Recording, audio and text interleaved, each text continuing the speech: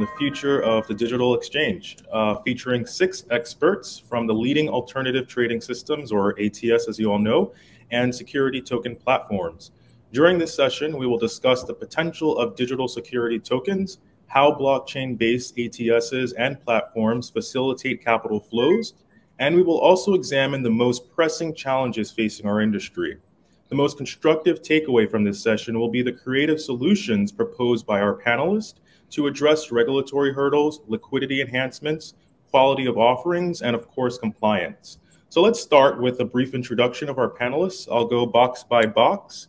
Um, I know it's very small on my screen, but uh, I'll try to zoom in here. We'll start with Scott on the top left. You give a brief introduction of yourself and Securitize. Hi, good morning, everyone. I am the CEO of Securitize Markets. Um, also lead our transfer agent business, and I'm happy to be here this morning with everyone. Great. Uh, Sean, great to see you. Yeah, sure, you too, Damanick. Uh, my name is Sean Bowden. I'm the CEO and CCO of Symbridge Capital. Uh, we're a digital asset security ATS located in Greenwich, Connecticut. Great, good old Greenwich. Uh, Richard, great to see you. Hi, Damanick. My name is Richard Johnson. I'm the founder and CEO of Texture Capital. We're a digital securities broker dealer focused on primary issuance and secondary trading of uh, digital securities. Definitely. And Alex? Hey. Good morning, everyone. My name is Alex Vlastakis. I'm the president of tZERO ATS. Uh, tZERO has been around since 2014 and uh, has a vision of integrating blockchain technologies into the capital markets arena. Pleasure to be here today. And Alan, hello. Hello, Alan Silbert, CEO North America for INX. Uh, we are a licensed broker dealer and ATS for securities and also a cryptocurrency trading platform. Welcome, Alan. And Pat. Thank you, Damanick. Hi, Pat LeVecchia, CEO and founder of Oasis Pro Markets, 25 plus years investment banking at Credit Suisse, JP Morgan, Bear Stearns. Uh, we're a multi asset digital ATS uh, we'll be launching in March of this year.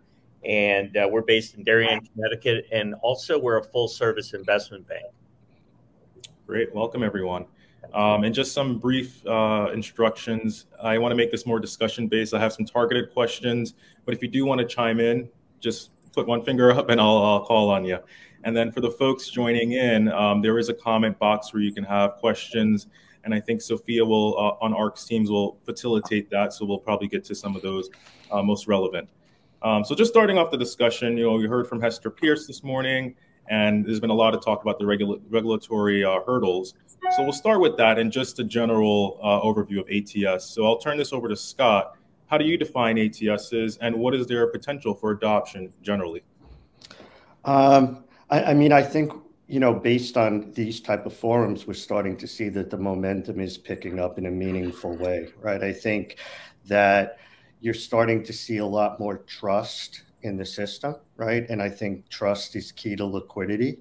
And so, you know, I think with these type of forums give everyone the opportunity to learn more about what we all do and how we operate because I think generally with the goal of building more liquidity, these forums are wonderful for having folks understand more about the process and it becomes less mysterious.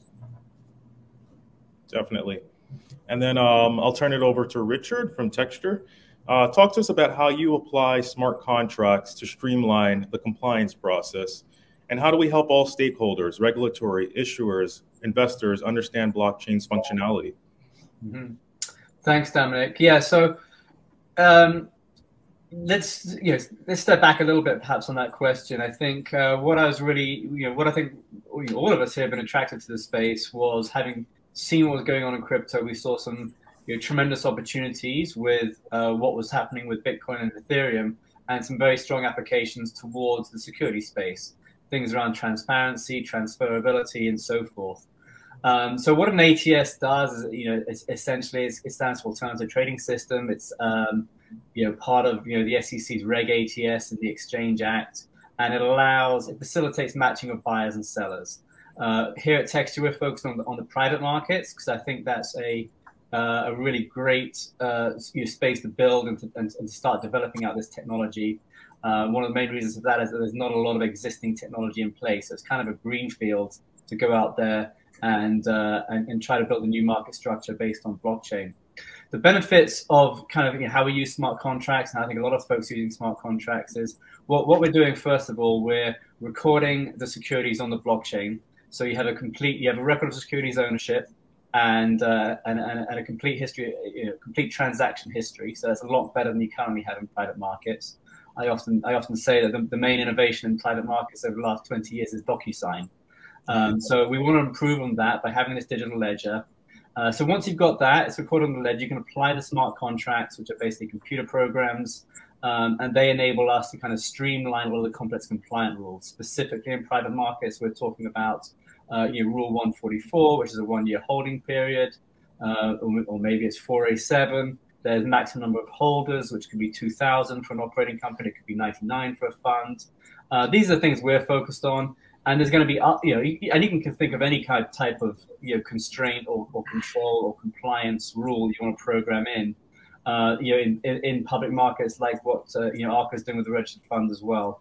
So the, the goal is to kind of use this technology this digital ledger and the smart contracts to streamline liquidity and, and facilitate the interaction of buyers and sellers so that we get more liquidity in these markets. Great. And do you feel that there's a general understanding across stakeholders, especially regulators, on the, the blockchain's functionality? I think there is now. Yes, I think so. I mean, it, you know, they've been, you know, you know looking at it quite heavily uh, for a while so there's understanding for sure. Um, I, I, don't know if there's uh, as much openness as we would like. I think there's, uh, you know, certainly some of the, the, the, comments we've been seeing have been suggesting that they're not, you know, there's a lot of constraints on us. The last panel was talking about, there's a question about, you know, firm, firms moving overseas because there hasn't been enough kind of regulatory guidance and things like that.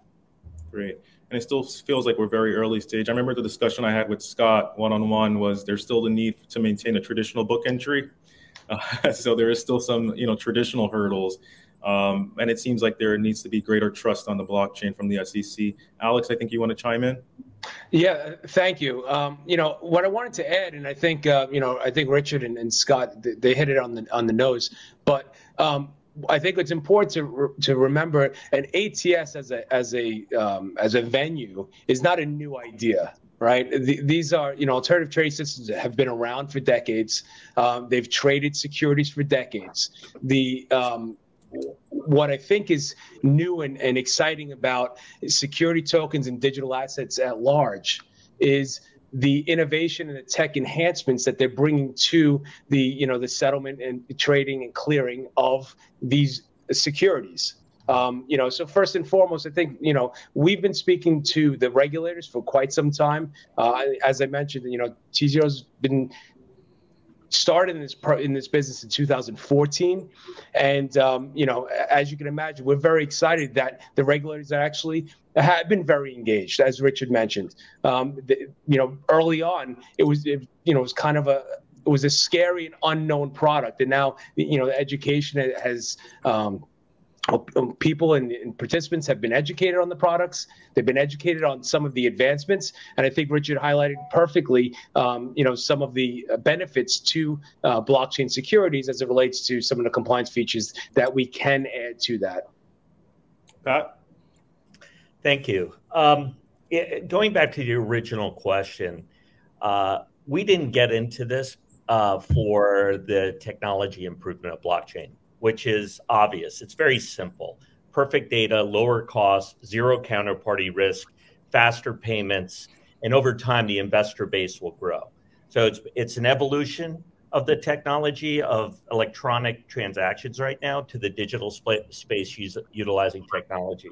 But frankly, our team and when we started this uh, this journey down the digital ATS side, we were focused on DeFi and what was happening in the DeFi space. And that's what we're most excited about because there's uh, a lot of uh, uh, interest in regards to some disintermediation, but also um, increased efficiencies utilizing DeFi. So that was our approach to this. We can do instantaneous settlements right now. We uh, we can settle in digital cash.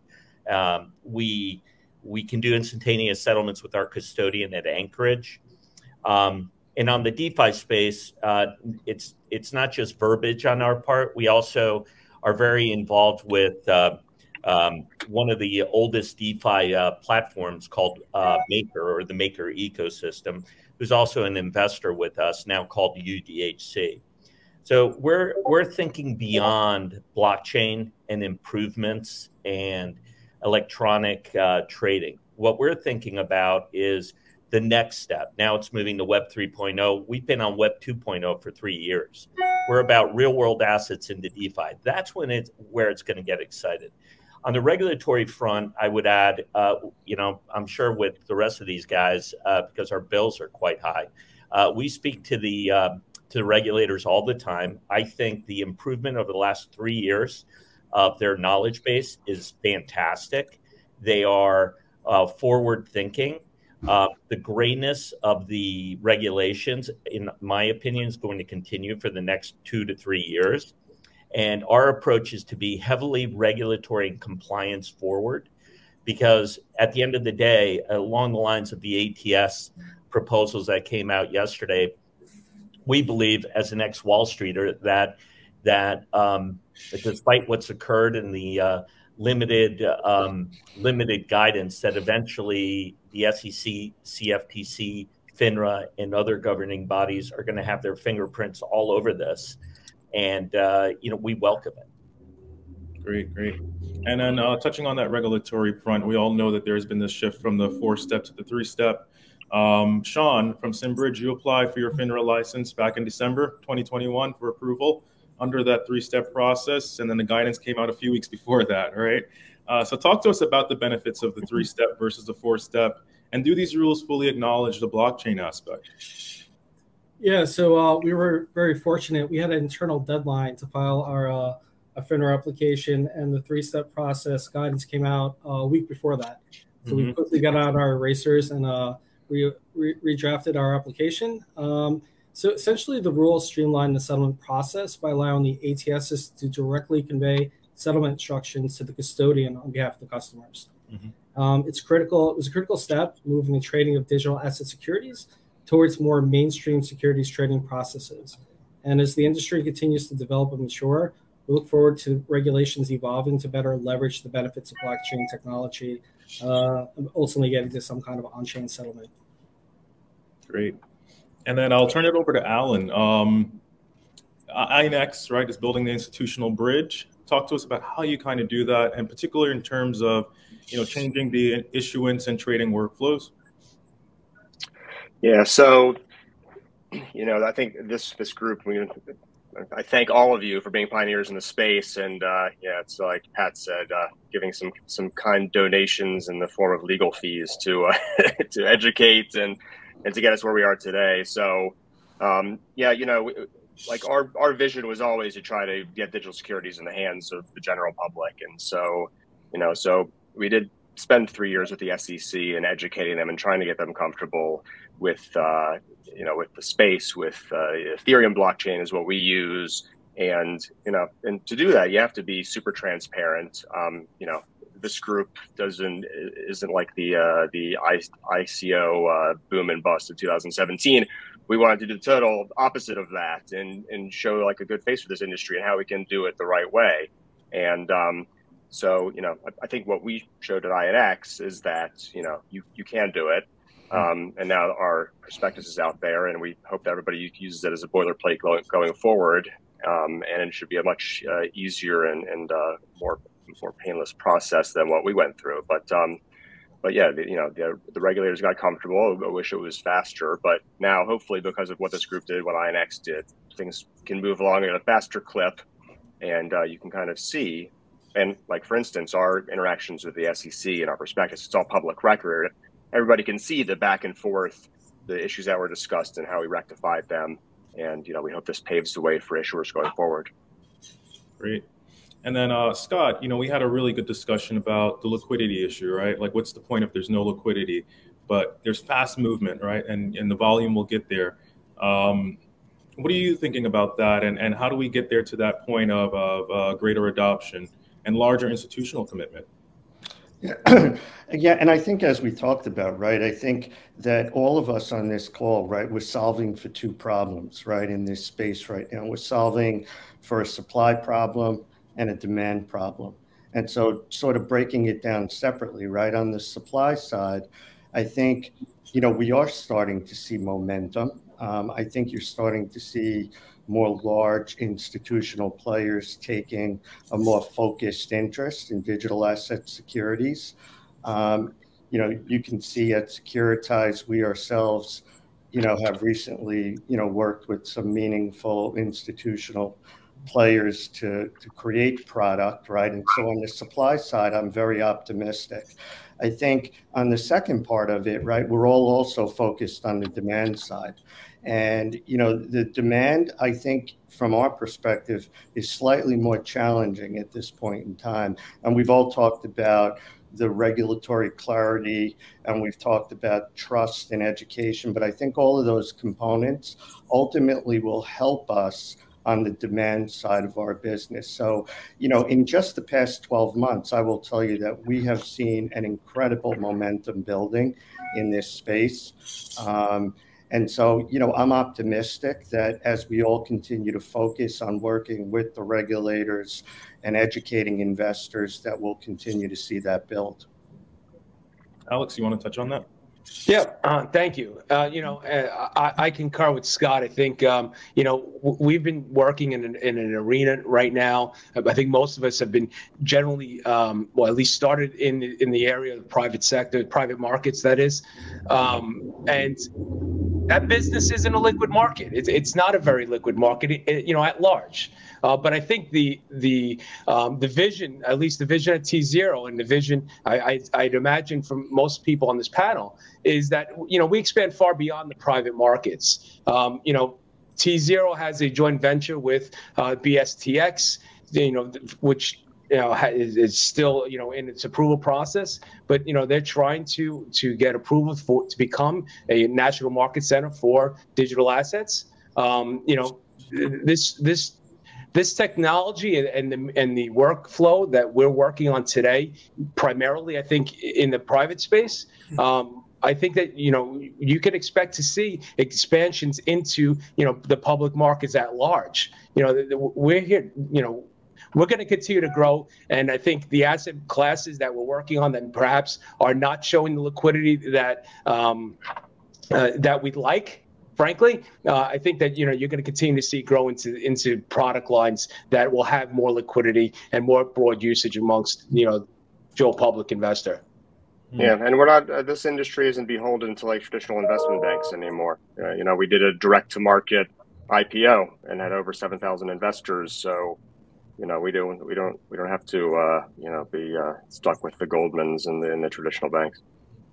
Yeah, and I, I, would just add, uh, you know, I agree with what's been said, but because the part, uh, look, we haven't launched yet, but the, the problem in the industry, um, and, and it, through through not through lack of effort, is lack of liquidity.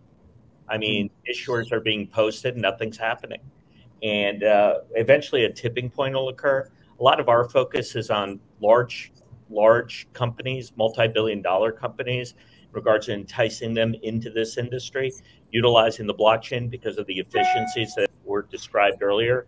Uh, that's our that's our focus. That's our approach, and then uh, obviously um, incorporate DeFi into that to the best of our knowledge as we work with the regulators on multiple fronts. Um, but a tipping point has to occur. Uh, I completely agree. Eventually, the public markets will catch up. But you know, um, from an institutional standpoint, the institutions are there. The custodians are there uh, for digital securities because they're already handling uh, Bitcoin and ETH. They just don't see the demand push from the institutions. When that occurs, they'll be able to turn that on very quickly. Uh, we often hear NASDAQ, New York Stock Exchange, eventually getting in this market from a equity standpoint. We, we completely see that coming. Yeah, again, when the institutional demand is there. And, and frankly, we think the tech is, is there as well um, for that. So eventually there'll be a tipping point. Our approach is larger deals. Uh, in order to have a successful market, you need counterparties to the transactions on both sides. So I think you know, you know, eventually it'll catch up. It's not there now, I mm-hmm. unfortunately, but again, it, that's the exciting aspect of being you know, in a nation industry as it grows. And, you know, we may be where crypto was five or six years ago. Uh, when a lot of folks were shaking their heads, but hey, Gemini just got an ATS license yesterday, right? Mm-hmm. That's a huge positive, I think, for this industry. I was Frankly, about to say, yeah. I was about to say. Just, just one last comment. Uh, what happened with the SEC yesterday in regards to the proposals? It, it what it's telling me is that the approach we took to be regulatory and compliance forward, like everyone else on this panel, was the right bet as well. Sorry, Richard. No, you, you touched on two things I, want, I was going to add on. Like you, you mentioned, you know, you know, crypto five or six years ago. I remember as recently as 2015, Bitcoin was trading fifty million dollars a day, which is you know nothing compared to what it is now. Just six years ago, and look at it; it's like you know it, it's eating Wall Street basically. Um, and I think you know, and I think Rain's kind of stories about the early ETF days as well are, are very in, in, instructive as well. So the space is is is definitely going to grow. We've got you know the the, the folks at this roundtable here uh, building out there. And then, as you brought it up, Pat, I want to mention those things as well. We, we didn't even have a chance to talk about this in our prep call because it happened yesterday. But the SEC came out with a stonking 675 page uh, amendment proposal for Rule ATS, which is what we're all regulated by, basically. Mm-hmm. And I haven't read it yet, but I've uh, from what I've been kind of seeing and some of the feedback, including Hester Peirce's uh, um, dissent, if you can call it that, it can be very expansive and could uh, the way it's written could be included to encompass DeFi activity, DEXs even. It's expanding mm. the definition of an exchange to from, from, being purely a marketplace to being a communications protocol, which is what a hmm. DEX is. Um, so I'm sure you know lots of people in, in DeFi aren't going to like that, and, and, and, they're going to be writing comment letters against it and, and whatever. But if that's the way it goes down, we're ready for it. Hmm. I, I, like that. Uh, Sean, you wanted to touch on that? Yeah, I think Pat brought up a couple of good points as well. Uh, I want to kind of dovetail off of. Um, I think as we see more issuers testing the space, there'll eventually be a tipping point where issuing more digital assets is a common common practice. Mm-hmm. We believe, and we're, we're betting on over here. And um, and the other point Pat brought up was uh, the lack of liquidity. Um, you know, we're kind of exploring some options now um, with some other ATSs about having some kind of cross-listing assets amongst the ATSs believe that will lead to a lot more liquidity uh, by sharing our, our issuers and our customers amongst each other. Interesting. Okay. And then regarding liquidity, I think we have a comment here from Peter in the audience. Uh, with the lack of derivatives in the digital securities markets, are you seeing any market making capabilities or players into the space? I think we touched on this right during our chat. Anyone want, want to chime in on that? Yeah, I'll, I'll take that one. I think it's a very good question because market makers bring about liquidity. You know, just to explain, you know, you've got market makers like uh, you know, Jump Trading or Virtu or whoever who are posting bids and offers on either side of the market, um, and they'll they'll buy. You know, they stand there to buy and they stand there to sell. They make their profit is the spread. Um, they tend to end up flat at the end of the day um, to, to manage their risk and so forth the, the market we're in, most of us are in right now, um, certainly in the private market, is not ideal for market making for a couple of reasons. One is the liquidity.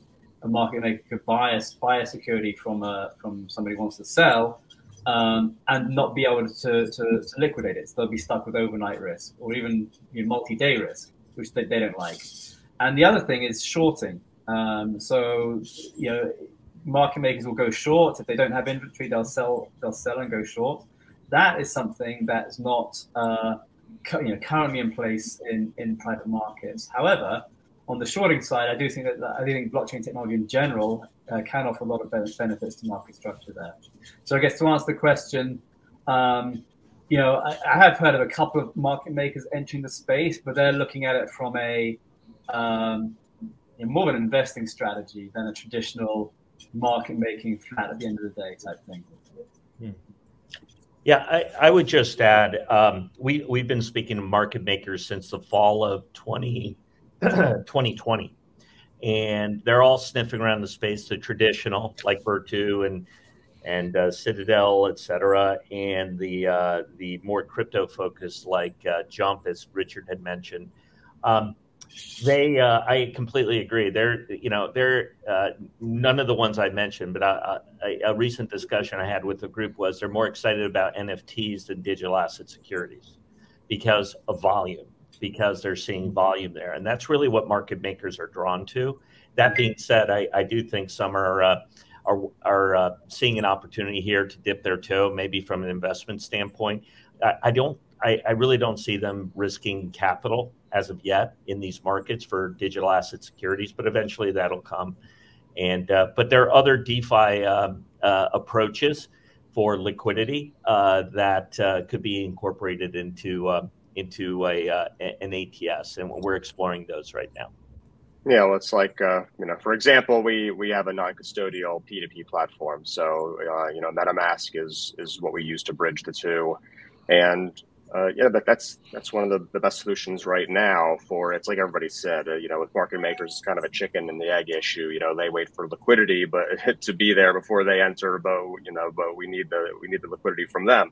So, um, but you know, uh, MetaMask is growing into a pretty enormous force in the in the uh, in the uh, digital asset world. I think it was 20 to 25 million active users a month. So, so know, there there there are options uh, absent market makers. And you know, the other thing is, you know, uh, market makers touch regulators, and so you know they have to uh, go and register as a market maker on a digital asset with FINRA and the SEC. So, um, you know, it's another kind of slow, iterative uh, process with the regulators. Uh, takes a little bit of time. Got it. There's one thing for certain. I know the industry is moving faster than the regulatory updates, right? Uh, so I, want to touch on the quality issue now, right? In terms of enhancing liquidity over time. Um, I think I had this question posed for Sean at Symbridge. How, how do we, as you know, how do platforms ensure the quality and the credibility of issuers? Yeah, um, I think one thing to reiterate what everyone's kind of saying before, um, we're still broker dealers. Um, we still have the same due, due diligence um, rules applying applying to us as uh, some of the larger um, uh, investment banks out there. Um, so I, I, think it, it's um, you know it comes to us. Um, an issuer will come to us, and we have to ensure that if we don't put quality issuers out in our platform, we're just not going to attract the clients uh, for these issuers. And I think that's the big, big, uh, big challenge in our space is uh, to try to educate the uh, investing public. Uh, these are true. These are truly valid assets uh, on our exchange, and um, I think that's where we're at today. Can I? Can, I just wanted to jump in there real quick, right? Because I, I think this is an important point because I think if you think about even our own personal experience, right, at Securitize, you know, the early adopters in this space, right, clearly had you know the challenges that you're referring to in terms of some questions around quality. I think you know there's real evidence now that you're starting to see, you know, issuers that you know some even public market issuers as we've talked about that are starting to really see the value in digital asset securities from multiple perspectives. But i think most importantly that they see this space as opening up these opportunities to a whole new demographic of investors. And so i see you know momentum towards higher quality issuers considering digital asset securities because I think they're now starting to understand the real benefits that they provide. If, if I could jump in, thank you. I uh, first of all, I think what Alan and his team did at INX in raising all that capital, go through the SEC and an S1 was tremendous. Um, somewhat counter to, uh, to Scott's comments, where um, we're not seeing it on in regards to the crypto investors wanting to get in, into uh, as of yet because you know we haven't launched, but we've been having a lot of discussions with groups. We're not seeing that crossover. In fact, when when companies come to us because there's adverse selection, honestly, to raise capital through the blockchain, um, those are not the groups that we're working with. You know, we we decide we're not the right venue for them. What we're trying to focus on is those that can pull investors in. And we think that's how you eventually you get liquidity, et cetera. We, you know, we've been looking at the other platforms. Um, uh, there are about seven or eight out there, and uh, some are really focused on uh, like Reg CF, for instance, and they have a lot of issuers, but they're not actually raising capital. So, uh, again, going back to the earlier comments about tipping point, we think that tipping point is drawing in some of these large players. And I, I agree with Scott that a year ago it was non existent. Now you've seen a couple of $75 million Reg A plus deals tokenized. You've seen, um, you know, money's uh, raised on the blockchain. But it's in, in our opinion, it wasn't because it was a blockchain traded token. It's because the issuer had an installed user base, and that user base was was drawn into the uh, tokenization. But again, eventually, it, what's going to happen is in five to ten years, we're going to look back and say, well, why didn't the market move to this space much earlier? Because we're going to have a lot of positive cases, we're going to have success stories, and it's going to be ubiquitous in regards to this technology. I mean, there's no doubt about it. Even as we speak to very large firms, large investment banks, they see it. It's just a question of when. So um, I, I, hope Scott's right. We just haven't seen it yet. Yeah, we're seeing uh, we're seeing a lot of different uh, issuers and wide ranging industries, and they're very uh, impressive use cases, very interesting.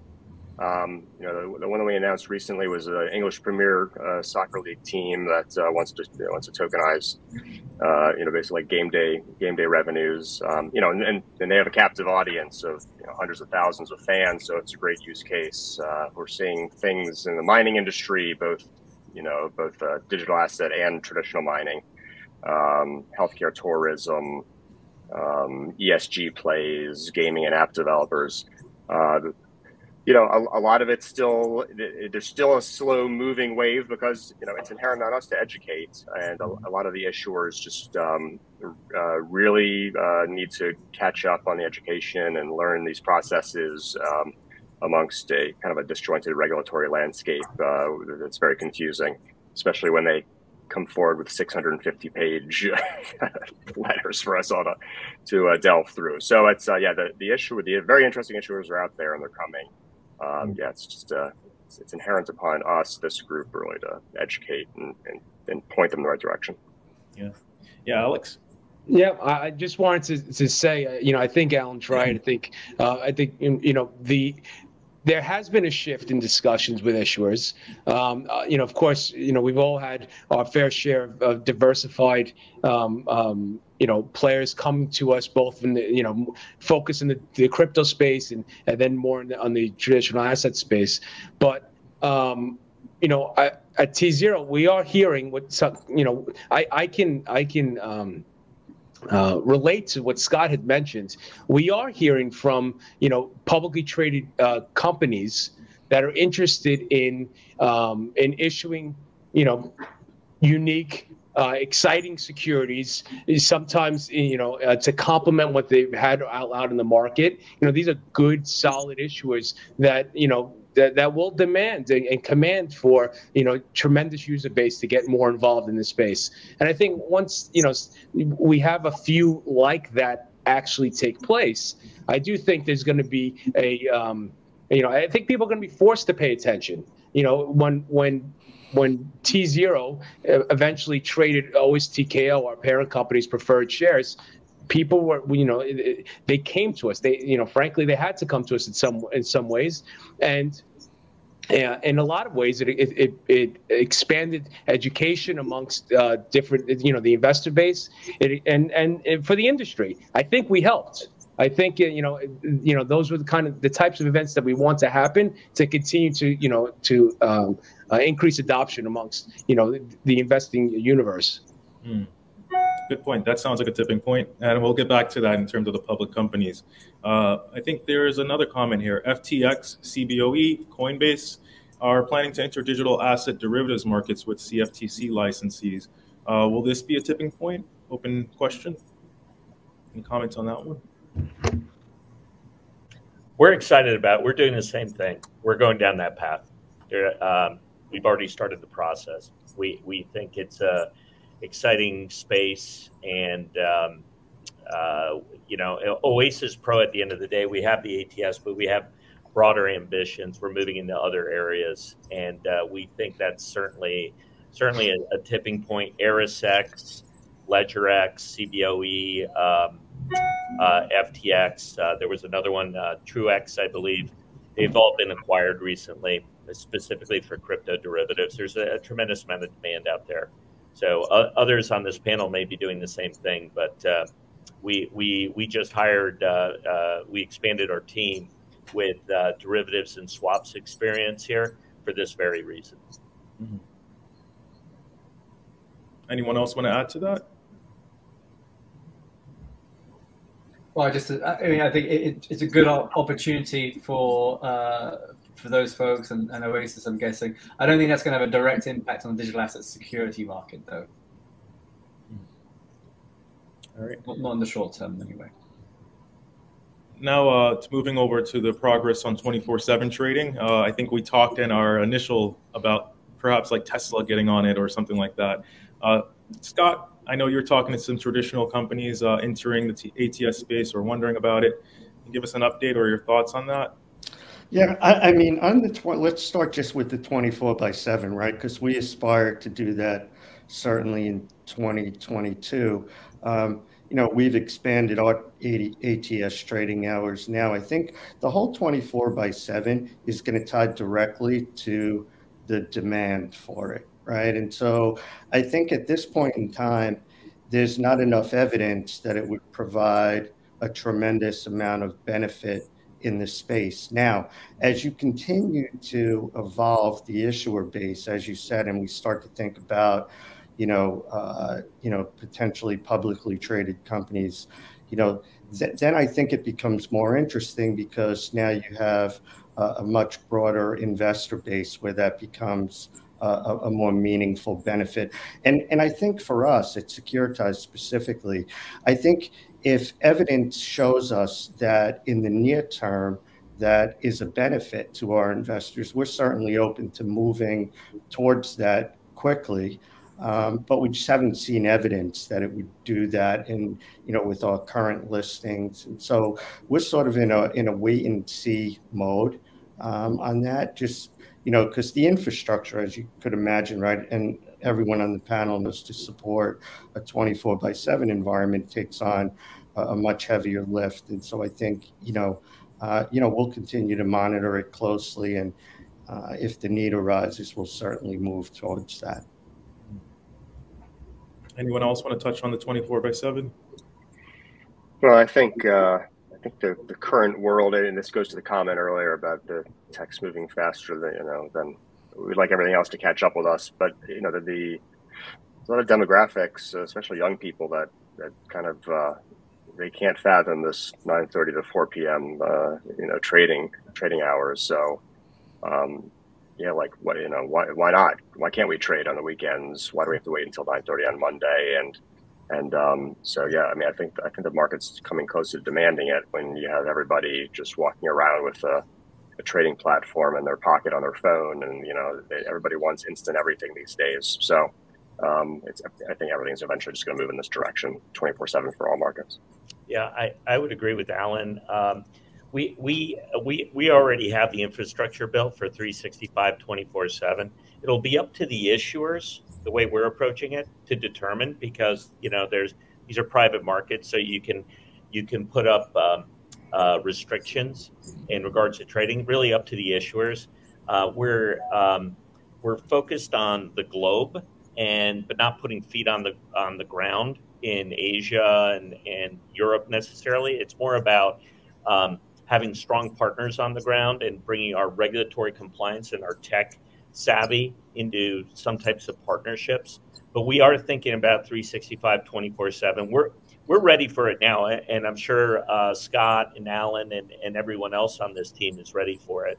Um, and when we launch, uh, you know, what we've heard from issuers is similar to what Scott just said, which is, hey, let's let's make sure everything's working properly in regards to our institutional base or investor base. They're comfortable with it, and then eventually move to 365 24 7 but I, I, agree with alan it, it's going to happen and it's one of the benefits right of um, of you know smart contracts which is what we're working with eliminates poor documentation it's real-time data why can't you trade if elon musk comes out with some comment or twitter post on a saturday night and uh, rather than wait till monday morning Um, so so I mean the tech the tech is there now for that.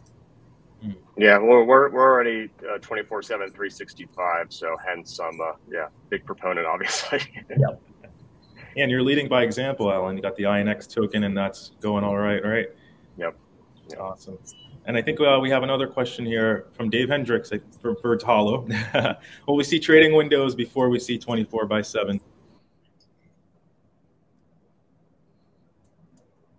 Anyone, uh, is that an option ahead of it? Um, I mean, I'll take a stab. I think, uh, you know, if I'm understanding the question correctly, um, you know, if you consider U.S. markets today, you know, the the core hours are 9:30 to 4, but um, you know, we've seen trading and we, we can allow for trading for obviously a much more expanded day. I think that's what, you know, what Dave is, is commenting on. Um, and, and I do think that that, you know, it, it, it could re- it could reasonably make sense that um, you know before it goes to seven days a week, they can go to you know a, a full expanded day, which you know in U.S. equity markets is um, you know I guess 4 a.m. to 8 p.m. or you know it could go five days a week and, and skip the weekends. Uh, I don't think that's out of the question, but I agree with you know people on, on the panel. Um, we're ready for um, tZERO is ready for the 24-hour trading. I think it's it's kind of a wait and see from our standpoint. Um, I, I, think you you will see it this year. Um, but you know, to Pat's point, it, it's going to be you know largely predicated on what the issuers are looking for. Uh, I think um, you know as we continue to grow that that that base. And Scott, that could be the evidence that you're looking for, right? Yeah, I mean, l- listen, I, I think we're going to see, as we're all anticipating, you know, the next 12 months are really going to drive this all forward. And it's going to start to create an environment that will ultimately push us towards where Alan and Pat said, which is, you know, it'll be commonplace for the 365 24 by 7. Nice. All right. And uh, segueing into another innovative part that I found pretty interesting, DeFi. We've talked on it a lot. um, Richard and maybe Pat, you know, we can uh, co- co-team this one. Talk to us about the potential of DeFi and how it enables investors to perhaps borrow against the deal. Oh yeah, that's a great question. I mean, you know, that's part of our longer term vision and, and, and why we set up the company was to uh, you know looking at all the innovation in DeFi and you know trying to harness that and bring that into a regulated securities context. So one of the you know, most well-known uh, you know, you know pieces of functionality in DeFi is the crypto lending, where somebody deposits you know ether into a lending protocol, they borrow a stable coin out of it, mm-hmm. um, and they have leverage essentially. There's no reason we can't do that with security tokens. It's a different type of token, and and, and with, withdraw um, you know a stable coin from that, allowing investors in these digital securities to to borrow against their holdings, which they can't often do these days. Um, and then I think there's you know other DeFi applications as well. Obviously, if you if you're including stable coins in DeFi, then yes, definitely a huge application for integrating stable coin settlement into the ATS so that you have you know, real time atomic settlement you know, far faster, far better than what you have in public markets right now. Interesting. Pat?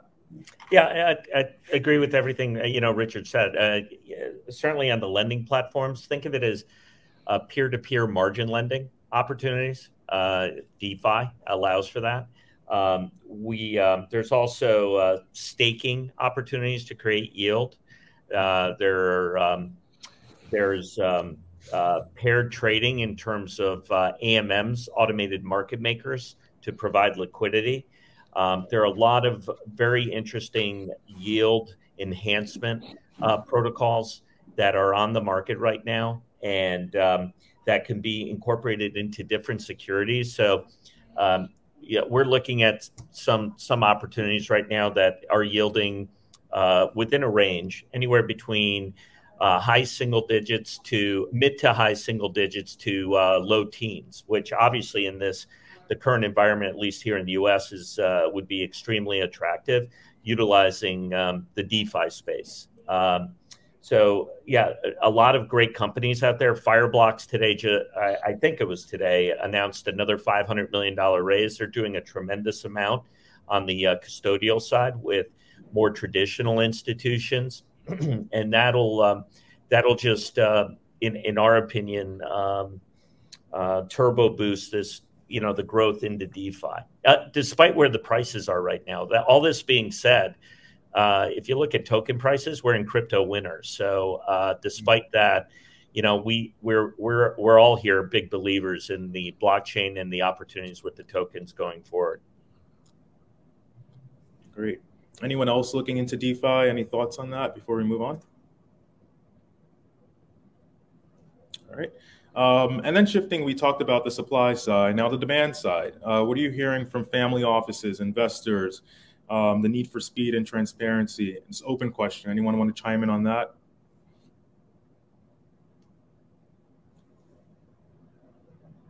I mean, I mean, I can jump in really quick, right? Is I, I think that momentum is picking up as well, right? We're in discussions with a whole host of family office and IRAs, and I think, you know, really, I keep using the word momentum, right? But I think it's an important word in the space that we're all operating in, because you know, everyone is trying to understand this stuff.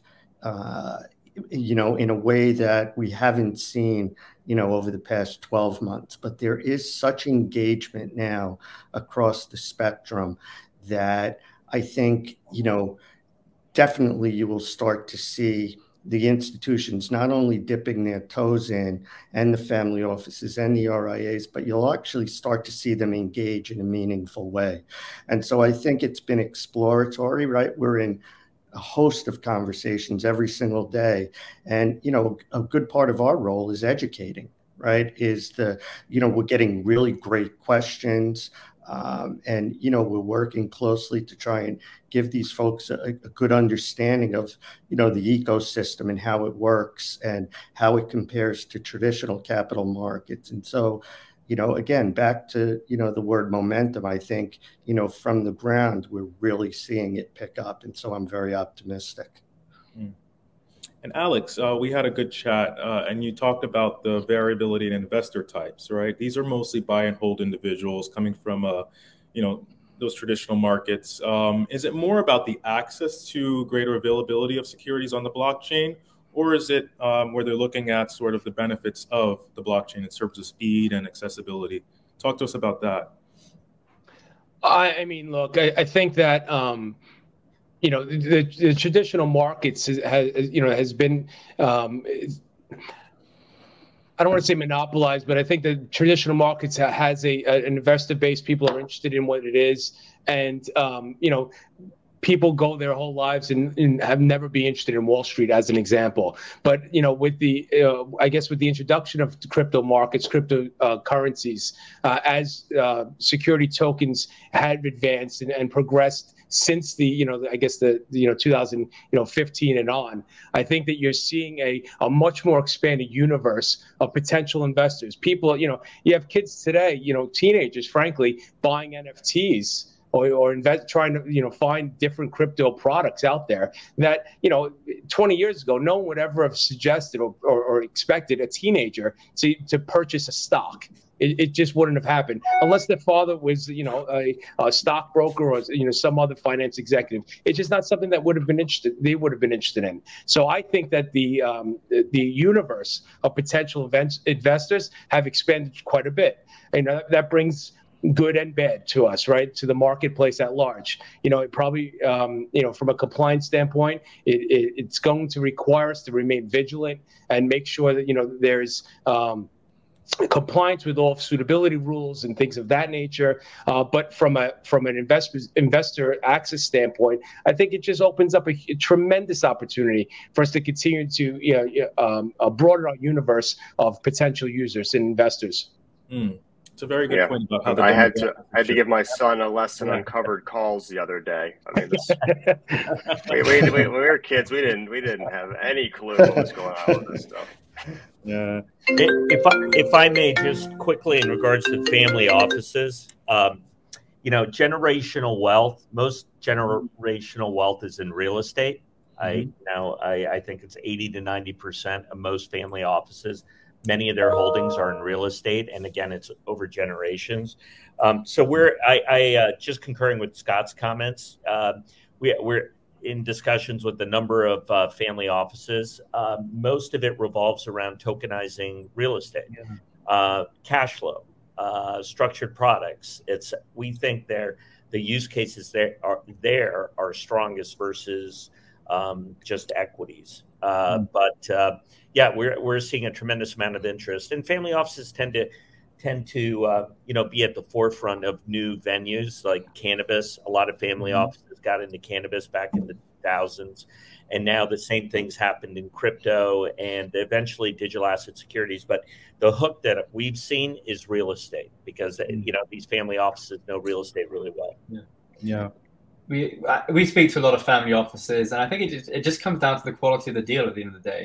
There's a bit of a discussion about tokenization and what that means but at the end of the day, they want to see the numbers on, on, on the company, on the on the real estate asset or whatever it is. And if that makes sense and fits with their investment uh, thesis, mm-hmm. then then they're going to be interested. The liquidity is kind of a bonus for them. It's not something they've had before, and a lot of family offices do have longer term money. So I think that's something that, they, that that's going to be kind of you know, as we grow this liquidity, I think that's going to get them even more hooked on on the product, as it were.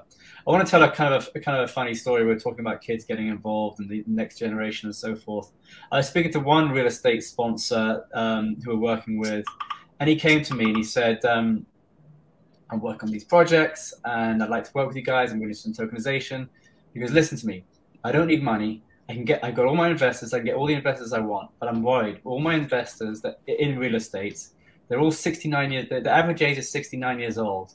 I'm worried about the next generation and what they what, what, what, when that money flows down to the next generation, what are they going to want to put it in? So I want to be ahead of the curve and have my real estate tokenized with someone like you. So I think that's something we're going to be seeing a lot more of. He was a very forward-thinking chap, but I think others are going to come start going that way as well. That's awesome. Yeah. Yeah, and if I may, you know, we I concur 100%. I think you know 40% of our you know total uh, um, um, uh, issuer base that's coming to us, uh, prospects that is, uh, forty uh, percent are in the real estate market specifically. You know, just to, you know, as a as a, a, in lockstep with what you just said. I think that. Um, they are looking for expanded universe and they are trying to understand you know who the next investors are so uh, rich it's a great anecdote and i think that uh, you know we're seeing that across the board nice Awesome. And I know this this this group is more like unconstrained portfolios, right? So the alt space is not as conservative as most people think. Um, and we have a question here for Richard from Sumana.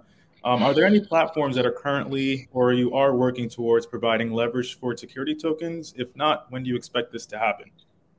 Well, it's on our roadmap. I'm not going to say it's imminent, but it's something we're looking at. Um, but and I'm sure other folks are as well. Uh, you know, on, on this call here. So I don't I don't think we'll see it. I think when you get a bit more critical mass, you may the you know it is you know a, a, fair bit of counterparty risk. I don't know what the loan to value would be on it. It could it could be as much or even as more more than the crypto market because you've taken on very stock specific risk. Maybe there's a solution where it's more kind of portfolio based um, margin. Margin's not really the right word, but portfolio based lending, so that the, the the lender can have more diversified and lower risk to it. So it's going to come. I don't think it's going to happen right away, though. Hmm. Yeah, I mean, one of the interesting things we're seeing is you know OTC uh, issuers that uh, that are the stocks are getting kind of decimated by by shorters out there or naked shorters or and so you know you, mm-hmm. can't short a security token right now and so some of them are, are considering you know uh, doing away with their OTC listing, tokenizing their stock instead, and, uh, and, and pushing all the shorts out. So it's uh, it's kind of it's an interesting thing that's, that we've seen a lot of in the last year. Got it. Nice. I've been taking a bunch of notes because I'll be writing up an article afterwards for CoinDesk. Uh, so very interesting stuff, um, and I think we're hitting up near the mark. Um, any last comments from our panelists to, to chime in before we head off? I want to open up the floor.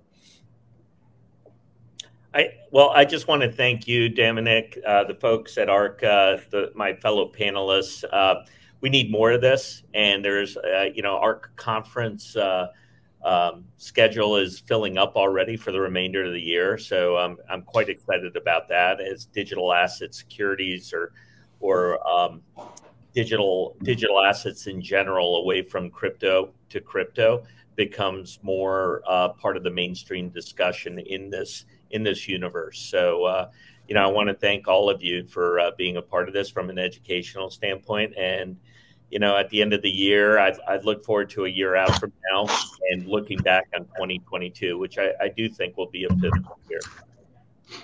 Great. And I yeah. know speaking with all of, go ahead. Yeah.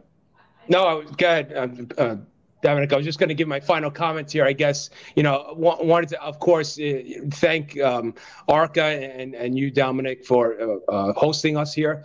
I think uh, most importantly, I definitely want to thank you know, this esteemed panel. I think that um, you know this space, you know, eight years ago, I would have stood here alone. Today, I think the panel alone is a testament to you know where this industry is going, and I'm super excited to see where you know everyone goes and you know how the, we mature as a group and as an industry.